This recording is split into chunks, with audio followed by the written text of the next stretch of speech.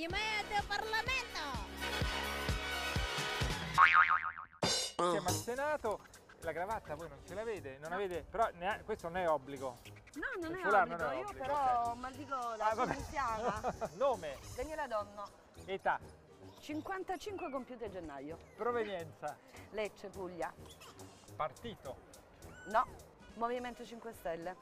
famiglia, Una mamma, una sorella, due splendide nipoti. professione precedente. Impiegata. Perché hai deciso di fare politica?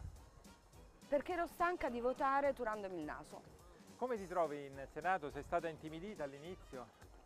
Se devo essere sincera sì, perché era un ambiente al quale io non ero abituata e poi ehm, vedere tutte quelle facce che prima si vedevano in televisione e insomma è stato mm, per certi versi una bella esperienza, è una bella esperienza.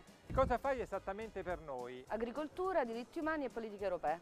Quella dell'Expo è una spesa giustificata per promuovere i prodotti alimentari italiani, secondo te? Assolutamente no, perché i prodotti italiani devono essere pubblicizzati, rivalutati, sostenuti, ma soprattutto le persone che sono dietro ai prodotti italiani devono essere sostenute. Ottenere il reddito di cittadinanza potrebbe compensare l'abolizione dell'articolo 18?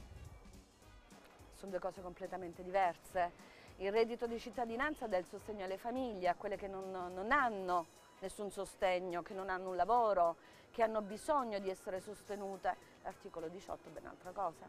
Ci sai spiegare perché le riforme costituzionali vanno avanti anche se ci dicono che non c'è più il patto del Nazareno? Chi l'ha detto che non c'è più il patto del Nazareno? A proposito di movimento, ti spaventano di più le espulsioni o le defezioni? Mm, mi infastidisce, ecco, io lo sento più come un fastidio, cioè il, il fastidio di essere, ehm, di non rispettare le regole, è quello che mi infastidisce di più, non mi spaventa. Senti, mi devi scusare, questa è veramente stupida.